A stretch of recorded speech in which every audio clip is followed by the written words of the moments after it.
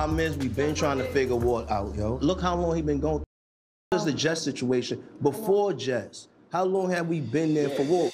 I owe like forty-nine, fifty thousand dollars in child support. Bro, what the doing in a project? I had to leave my crib out in Jersey. I had to send the kids away. Yeah, what the hell is going on out there? Boys get arrested.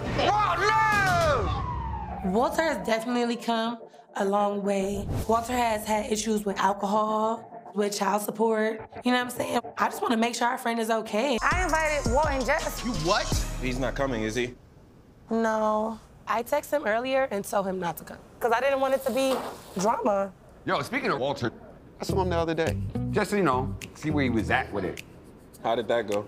I try to listen to his side, and it still don't make sense. Thank you. Told you. I'm not gonna lie, when I first contacted Walter, I was really concerned about his well-being and what the was going on with him to make him steal from his brothers. But after listening to all his excuses, you know what? I'm a little bit more pissed now than I was before.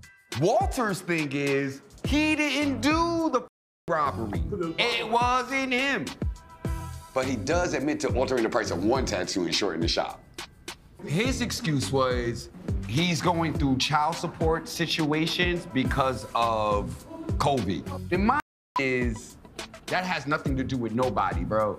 You put your in something, you had them kids, that's you. But you know what it is? Let me tell you what it is. Because I love Walt. Like, I genuinely check on him. We have hour-long conversations.